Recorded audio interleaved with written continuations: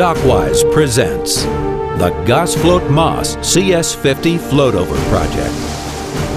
The Gazflot project includes a load-out operation of two different sections of a drilling rig at two distant locations. The first location is Vyborg, located in Russia. The second location is Geoje in South Korea. As the transporter sails to Vyborg, where it will load the hull structure of the drilling rig, the Black Marlin sets off on her voyage to South Korea.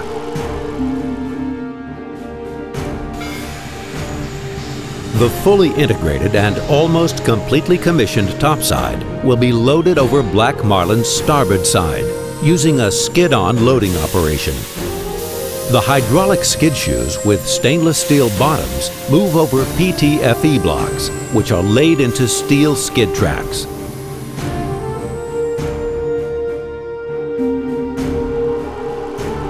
While the Black Marlin was loading the superstructure of the offshore drilling rig, the transporter loaded the hull structure in Vyborg and is on her route to Murmansk.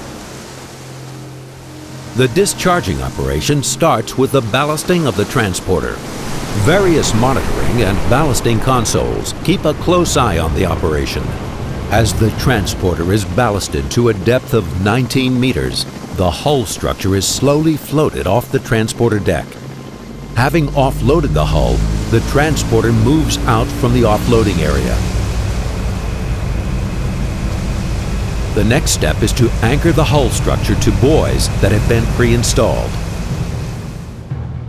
Safely fastened to the buoys and their anchors, the hull structure is ballasted to a depth of 27 meters.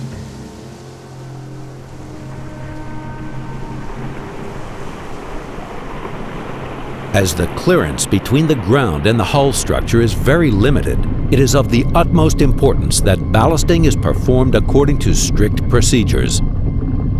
Now that Phase 1 of the discharge operation has been completed successfully, the Dockwise crew on the Black Marlin can proceed with the next phase of the operation, mating the upper structure with the moored hull structure. Slowly, the Black Marlin carrying its load of over 18,000 tons, is positioned over the hull structure. The clearance with the hull structure is a mere 100 millimeters, leaving no room for mistakes.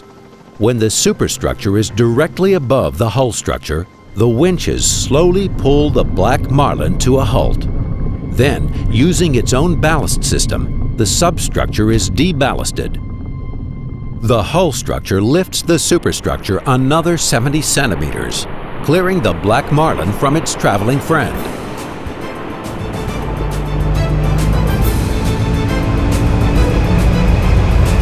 The Black Marlin eases out, staying clear of the structure.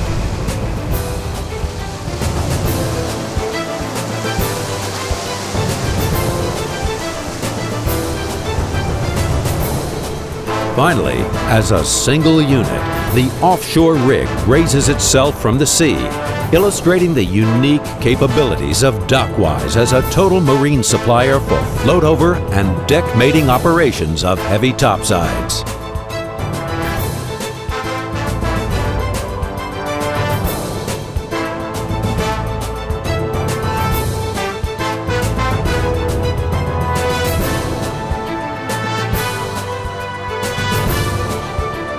Dockwise. Consider it done.